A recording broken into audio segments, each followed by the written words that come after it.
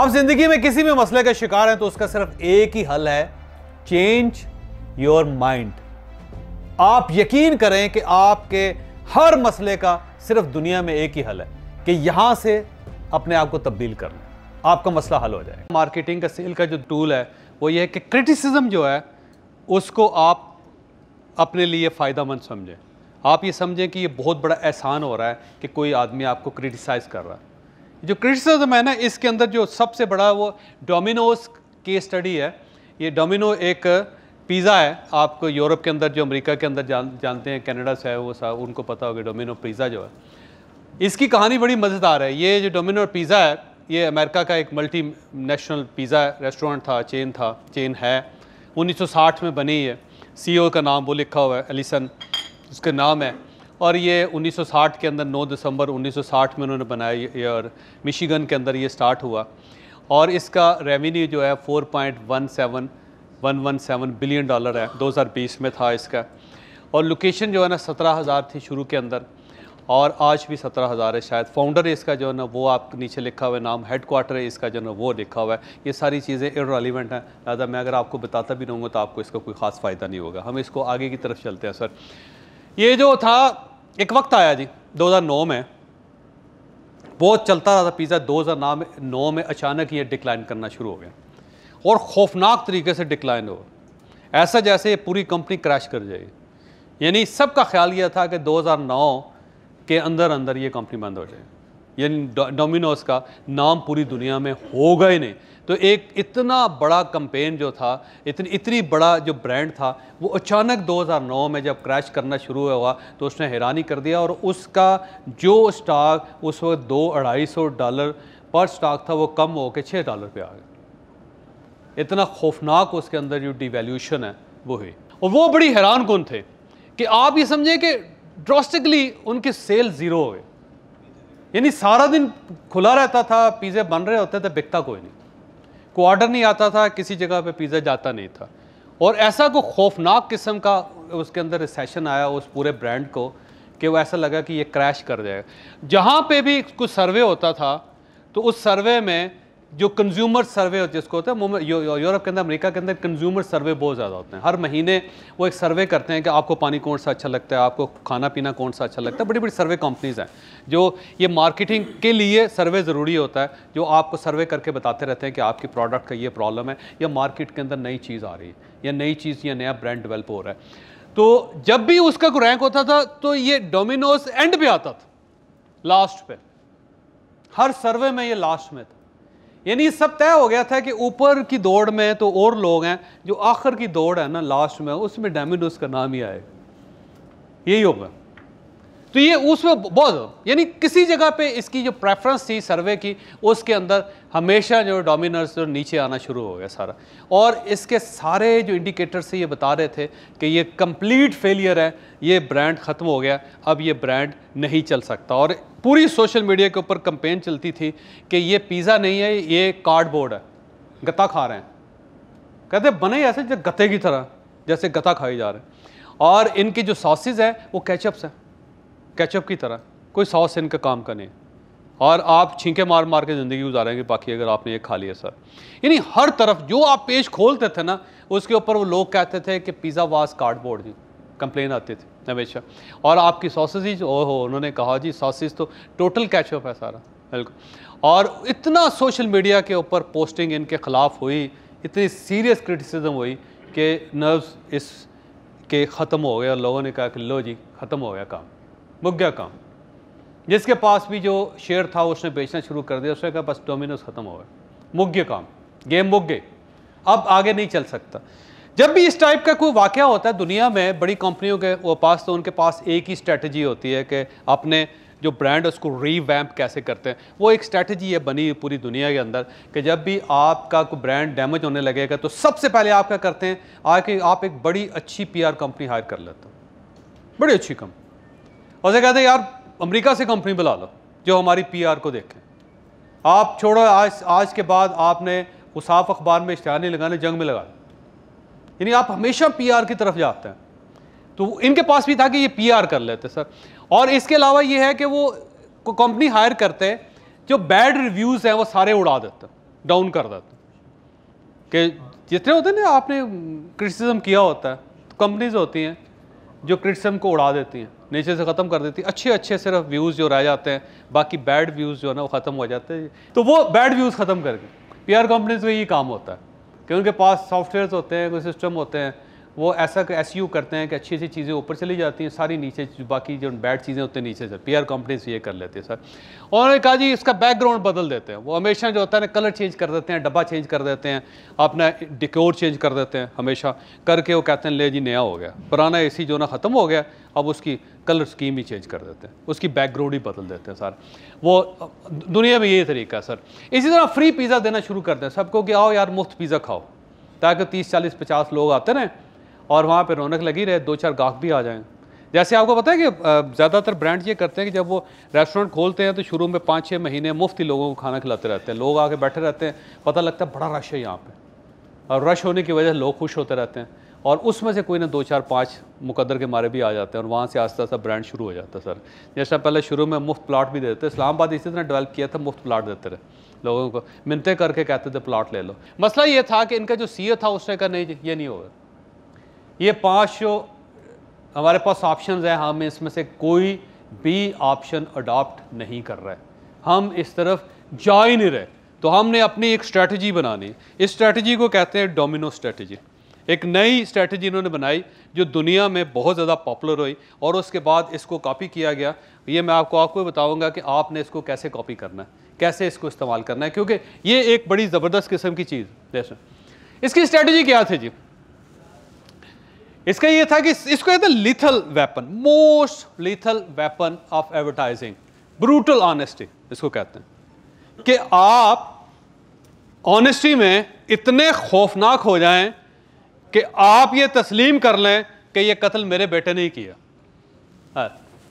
आप ये तस्लीम कर लें कि सारी बदमाशी मेरी है। आप ये मान लें कि मैं वाकई इतना बड़ा गुनागार हूँ कि मैंने इस पूरे मुल्क का बेड़ा गर्क करते हैं मसलन, किसी तरह की एक प्रेस कॉन्फ्रेंस हो, उसमें आसफ अली जदारी साहब बैठ के ये कहें कि जो इस मुल्क के अंदर ख़राबी है, वो मैंने की। मैं एक्सेप्ट करता हूँ। या मियाँ नवाज़ साहब लंदन में बैठ के कहें कि मेरा लंदन में आना, यहाँ पर बैठना गलत था और इस मुल्क को मैंने नुकसान पहुँचाया। या जनरल याया खान साहब अपनी कबर से बाहर निकलें और आके कहें कि ये मुल्क मैंने तोड़ा था। मैं जिम्मेदार हूँ इसका। इसको कहते हैं ब्रूटल ऑनेस्टी कि आप इतने खौफनाक हद तक ऑनेस्ट हो जाएँ कि आप अपनी हर गलती को तस्लीम कर लें खुले दिल के साथ। और उसे कहें कि मैं सज़ा कबूल करने के लिए तैयार हूँ उसका। तो इन्होंने कहा कि ये हमारी स्ट्रेटजी जो ना ब्रूटल ऑनेस्टी कि हम जो हमने गलती की है, हम उस चीज़ को तस्लीम कर लें। तो इनके सीईओ ने इस तरह किया कि वो प्रेस में आया, मीडिया में और उसने कहा कि हमारे ऊपर जो क्रिटिसिज्म हो रहा है, जो भी इल्ज़ाम लग रहा है, वो सौ फ़ीसद दुरुस्त है। हमारा जो सास है, वाकई वो केचप की तरह। हमारा जो पिज़्ज़ा है, वो कार्डबोर्ड है। और हम वाकई अच्छी फ़ूड आवाम को प्रोवाइड नहीं कर सके, लिहाजा डोमिनो अपनी गलती मानता इसको तस्लीम करता और ये उस तरफ़ चलेगा फौरी तौर। पब्लिकली इन्होंने एडमिट किया सर कोई चीज़ छुपाई नहीं। जो भी इन पे एतराज़ किया गया था, इन्होंने सब एतराज़ा सामने रखे और रख के इन्होंने कहा कि ये बात सौ फ़ीसद दुरुस्त है और हम आप सब की बातों पर को को मानते हैं और इसके बाद हम ये, हमने फैसला किया है कि हम इसको ठीक करें। इन्होंने क्या किया, सर?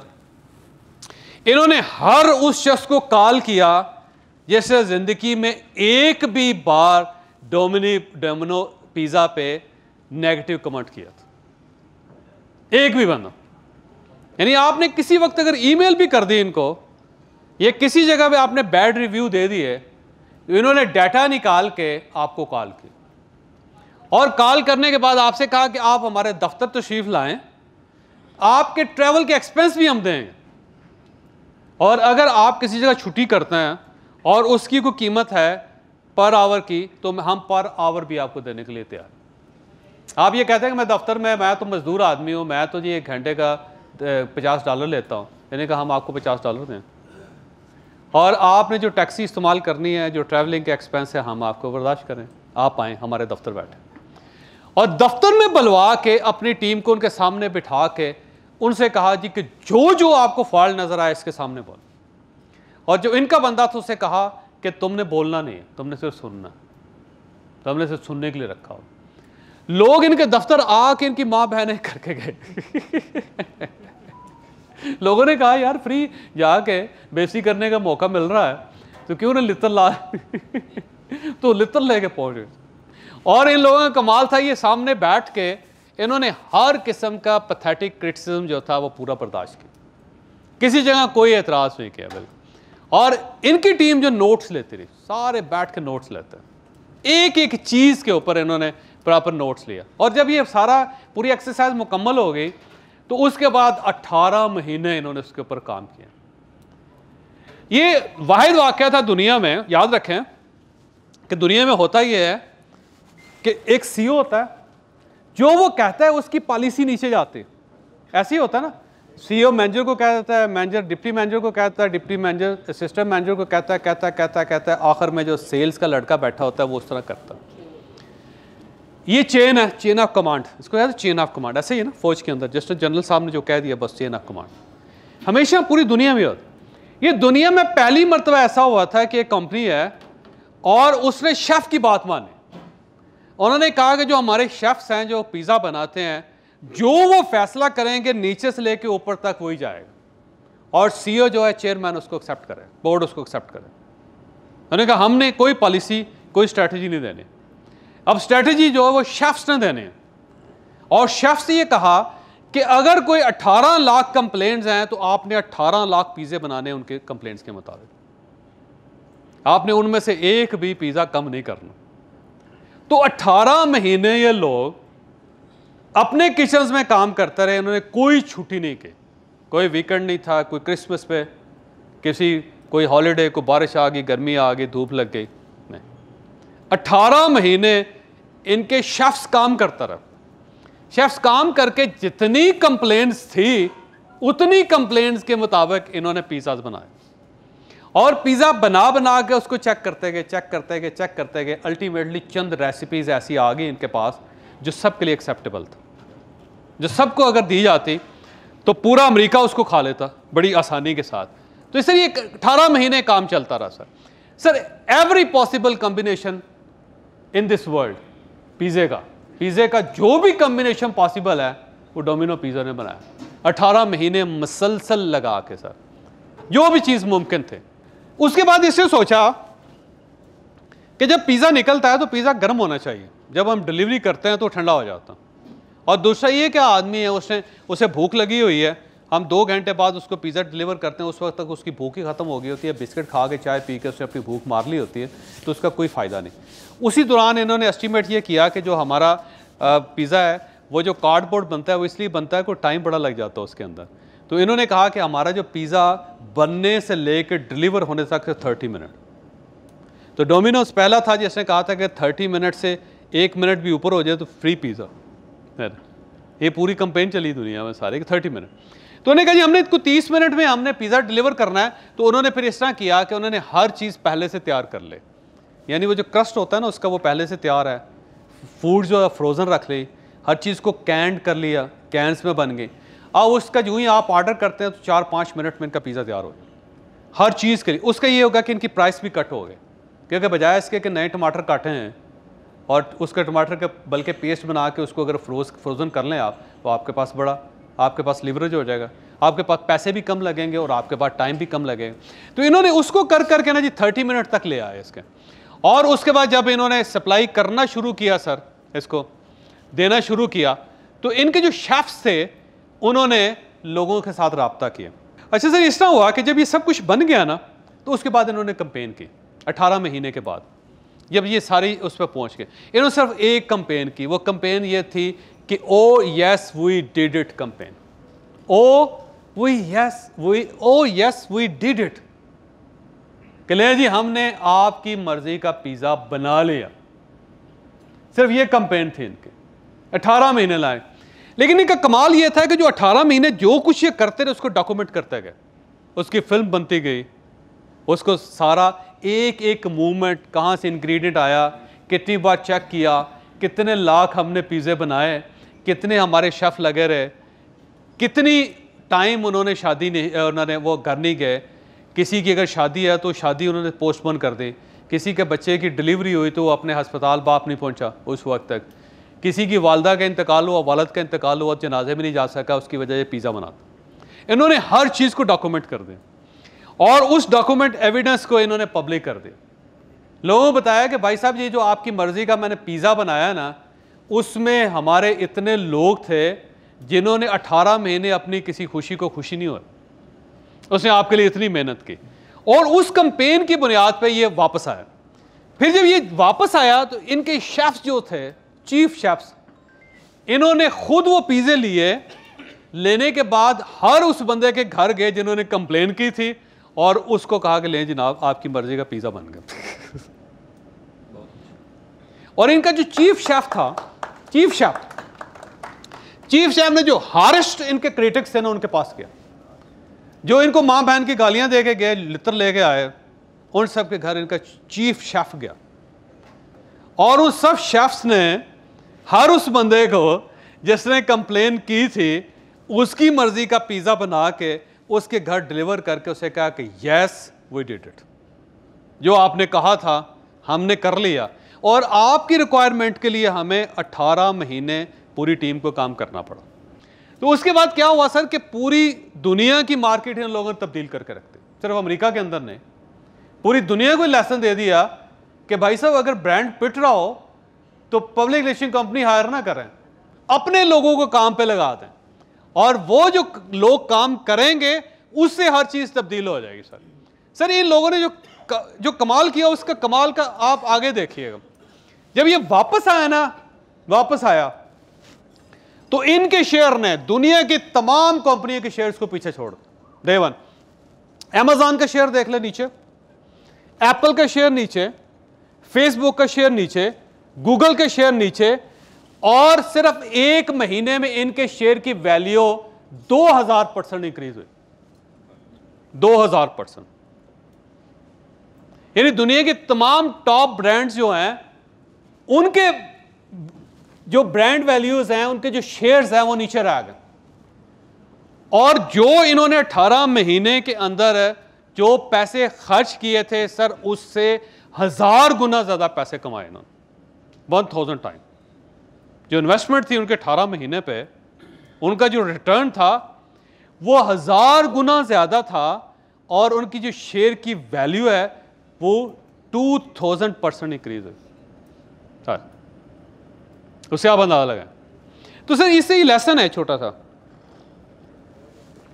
आपसे भी गलत प्लॉट बिक जाता होगा। आपकी जो हाउसिंग सोसाइटी उसमें भी आपने कहा था, दो साल में आप लोगों को कब्जा देंगे। दो साल में आप कब्जा नहीं दे सके। आपने कहा था, पूरा इंफ्रास्ट्रक्चर तैयार हो जाएगा। आप नहीं कर सकें। आपने जो कहा था कि जो प्लाट आपने बेचा है, वो हर लिहाज से सिक्योर है, ठीक है। लेकिन वो सिक्योर ठीक नहीं निकला। हो सकता ना? आपके पास दो ऑप्शन हैं कि अब आप जान बचाने के लिए किसी एस एच ओ सी की मदद लें। उसे कि, यार, बचाओ मामा जी, काम ख़राब हो गया। ये फ्रॉड हो गया मेरे साथ तो उसको मैं पिट गया काम। और एस एच ओ साहब बुला के दूसरे बंदे को दो लित्र मार के उसे खबरदार, जो मेरे भांजे को हाथ लगाया तो। या कोई आप पीयर कंपनी हायर कर लें, जो आपके लिए झूठ बोलना शुरू कर दें। कोई, वो पाँच टूल जो हैं, उसके अंदर वो आप कर लें। या दूसरा, ये चुप करके बैठा रहें। कोई कोई बोलने दो बोलने दो बोलने दो। चुप कर जाओ। लगे रहो उससे बैठ के ना। बड़े बड़े ढीठ होते हैं ना। सर, उसके बजाय आप ब्रूटल ट्रुथ पे क्यों नहीं जाते? क्योंकि ये वो साइंस है, ये वो फार्मूला जो लेटेस्ट है, और जिसने पूरी दुनिया को हैरान कर दें ये डोमिनो पिज्जा ने यही किया। उसने कहा जी, जो आप कह रहे हैं, वो बिल्कुल ठीक है। वो बात गलत है ही नहीं। गलती है ही हमारे। लिहाजा हम ही ने उसको ठीक करना है। लिहाजा ये इसका लेसन सुने सर लेसन ये है कि customers criticism is part of business using it in a positive manner help growth यानी कि क्रिटिसिज्म जो है, जो आपके ऊपर तनकीद कर रहा है, जो एतराज़ कर रहा है, वो सर बहुत बड़ी ब्लेसिंग है बिज़नेस के अंदर. और जब भी आप इसको यूज़ करेंगे, आपकी ग्रोथ में इजाफा होगा.